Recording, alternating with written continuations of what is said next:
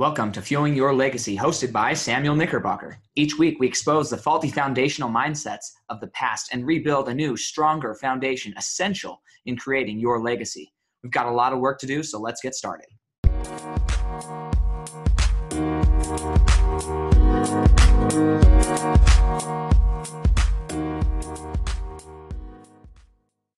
Welcome back. We are excited, excited, excited to be here today. Um, this last weekend was phenomenal. I got the opportunity to go speak to a group of entrepreneurs and just share uh, a little bit about my story and where I'm headed um, with fueling your legacy and changing lives and what that means and how we are impacting. If you've listened to a few of my videos or my podcast, then you've been along this journey over the last 15, 16 episodes, but we are going to even get deeper and more specific moving forward because I recognized that um, I've been a little bit too shotgunny. Okay, I, I need to focus on a few different things, and so I'm going to really nail down into fueling your legacy. What what's the fuel? What aspects? What characteristics are you using in your life to fuel that legacy? Um, and how is that going to impact? For me i specifically um, uh, look at and love to help people with their financial mindset but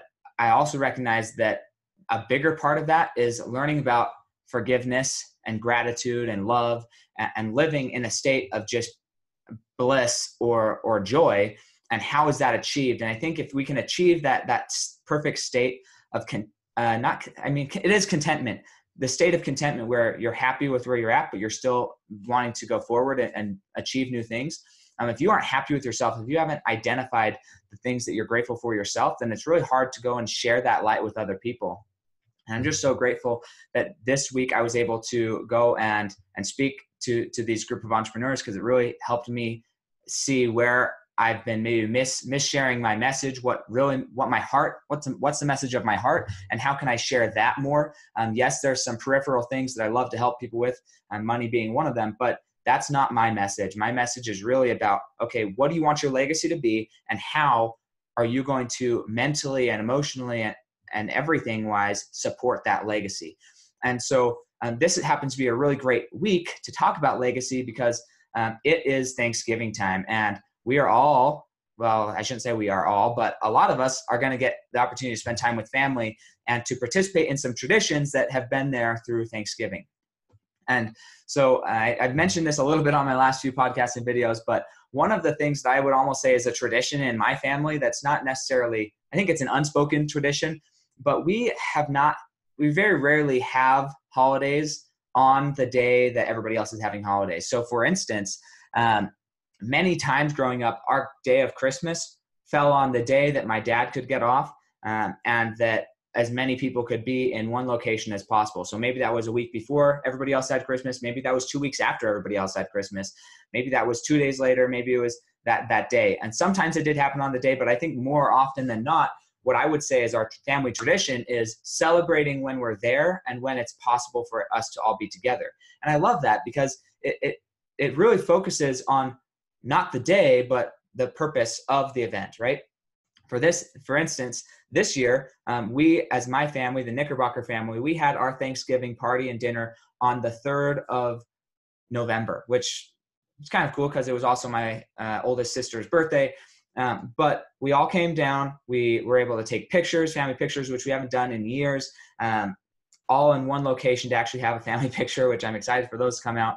But uh, so we took family pictures, but we also were all able to be in one place that time. Now it doesn't make sense and doesn't work for us all to be in the same location this weekend because we all have different families that we uh, need to go visit for our spouses, and we just have different things going on in our life. We live in different states, and so there's no point in focusing on well we need to celebrate the same day that everybody else is celebrating you know that's not what's important what's important is being with your family and being grateful to be with your family and and living in that that existence um, with your family.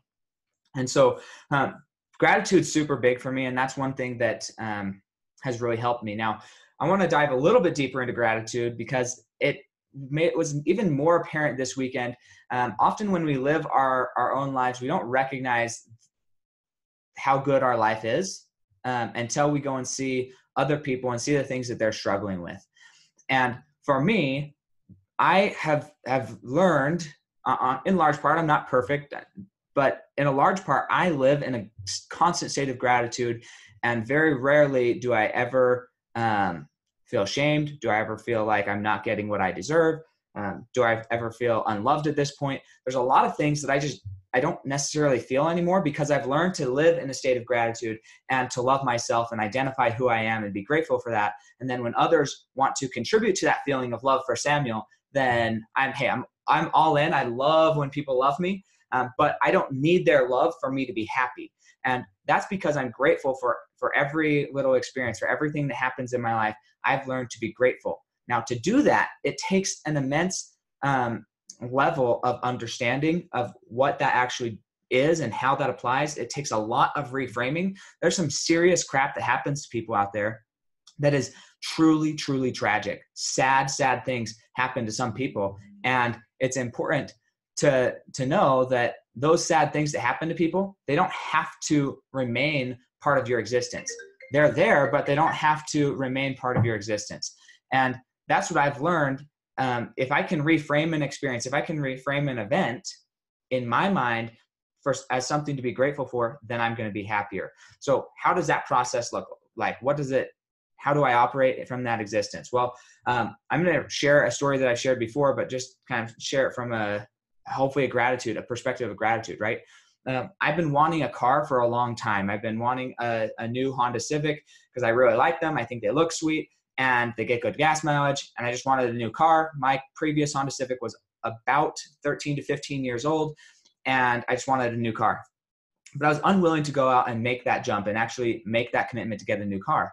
Well, uh, I'm on my way to work one day looking in the re- rear view mirror because I passed a police officer and I didn't want to get a ticket. Right? I knew I was speeding because I speed a lot. Um, and I didn't want to get a ticket. So I was looking my rearview mirror to see which way he turned out. Well, he turned out and went the opposite direction. So I was like, whew, I won. And then, bam, I crashed into the truck in front of me and totaled my car. Right? In that moment, I had two things that I could have done. I could have sat there and blamed the police. I could have said, "Oh my gosh, I can't believe that this happened to me. Why did they stop? Why?" I could have done so many different things, but instead, I pulled over right behind them. I said, Man, are you okay? First, I thought of others, right? That's the first thing you have to do to live a life of gratitude. You have to reframe everything in perspective of others. What is the benefit or what is the, the situation that others are in, right? So I thought of others. Hey, are you okay? And then looked over their car, made sure their car was okay. And then I chose to use this opportunity to talk to them because I'm somebody who likes to talk to people and I have a, a career well where being seen and being heard is absolutely important. And so I need people to know what I do for work so I can help them. And so I chose the opportunity to talk to them. I got to meet this new friend that I had never known before, probably would never have ran into, figuratively and re- literally, um, unless this happened. And so I was grateful that this happened in that regard. I also, when I called my wife, seconds later, right, I'm done, I'm walking out. What do I say to my wife about this experience? I say, hey, honey, you know how I've always wanted a, or I've been wanting a new Honda Civic? She's like, yes, I do. It's like, well, I just totaled my car. So uh, looks like I'm going to get a new car. That's exciting, right? She's like, how can you be positive about this negative experience? The, the reality is things happen and we can choose how to react. And I choose to reframe things in a, in a state of gratitude and positively and, and, and positivity into my life each of you are going through different situations in your life. Maybe it's your kids are screaming and they just don't shut up, right? Maybe you want to help them, but you don't know how. Maybe you're just super, super tired and you're, you're stressed and you don't know how to work with your money. You don't know how to work with your faith. You don't know how to work with your family. And it seems as though things are just crushing in on you and they just keep caving in on you. Well, in those situations, you have a choice. You can choose to be grateful for everything that you do have. You can be choose choose to be grateful for the roof over over your head if you have one, for food on the table if you have food on the table. Uh, you can be choose to be grateful for those things, or you can choose to blame others, sit back and think, "Man, poor me. This this sucks." And uh, my my objective is on a more one-on-one basis to help you walk through that process, help you understand how can we reframe every little experience because it is every little experience. We have to start living a life of every little experience from minute to minute. How are we living in a state of gratitude? Um, not just temporarily, but how is this a constant thing? And for me, over years and years of practice, um, I still am slightly conscious that some of these bigger things are happening in my mind, but for a lot of the little things, they just it just my mind just reprograms stuff so fast that I just appear in a state of gratitude, even though obviously there's some heartaches sometimes. There's things that happen, but if we can learn to always show up in a state of gratitude, what that allows us to do is have compassion for others. And so when you're going through, going to meet your family, going to Thanksgiving parties, you're going to see people that maybe you disagree with, that maybe um, you think, man, that person was rude to me, or I have a bad relationship with this family member because of X, Y, and Z from my childhood. Hey, we all probably experienced something like that at some point in our life. My challenge to you would be how can you be grateful for who they are in your life? Not for everything they're not, or be grateful for who they're not. That's what I do. But be grateful for everything they are and everything they're not in your life right now, today. And as you can live in that gratitude, I promise that your relationship with them will be better. The compassion that you have them for for them will be better. And you'll be able to begin to have empathy for them be able to see things through their point of view. And you may be able to repair relationships this thanksgiving this this moment in time when you're with your family. You may be able to repair relationships that have been stressed and and struggling for a long time just by simply living in a state of gratitude and and knowing that these people who are are maybe doing things you don't like or are offering unsolicited advice whatever they're doing it one because they love you. If they didn't care about you they legitimately would not even think about you let alone talk to you right? The people the reason people are willing to go out of their way to sh- share their information with you is because they care about you. Um, and it may not be the way you want to be cared about but you can choose to live in a state of gratitude and say man i'm so grateful that you care about me. I don't necessarily like your advice right now but thank you for actually caring about me thank you for thinking of me and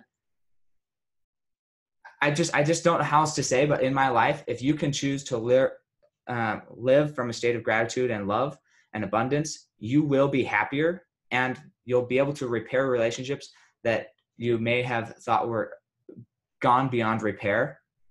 Um, I don't think anything's gone beyond repair, but it's it may not be easy, but it'll be absolutely worth it if you choose to live in a state of gratitude for your life. So we're going to talk about this again um, on Wednesday. We're going to share some books that have helped me gain that perspective of gratitude, and then well on uh, Friday, we may have a guest, we may not because of the, the craziness of the week, but hopefully we can get somebody on here who is excited to share about their life and the gratitude that they have in their life. Maybe it'll be a, a accumulation of people who comment on this video. I'll just read all the things you're grateful for um, because I think that's important. So if you can, that's a good idea. If you can comment one or two things that you're grateful for in your life today or somebody that you're grateful for, I'd love to give you a shout out as well as um, the, those those things in your life and those people in your life that that you are grateful for, um, and we can share those around and spread happiness and joy to to the whole world, which is my goal and and my the thing that gets me out of bed and excites me every day. So with that, please like, comment, and share. Um, if you are listening to this on a podcast form, you can review it and also you can comment on that podcast. You can also share that on social media. I, I love the, the support there um, mostly so that more people can hear this message and more people can begin to experience greater levels of gratitude in their life and thankfulness um, because that is where i found in my life has brought me the most joy and pleasure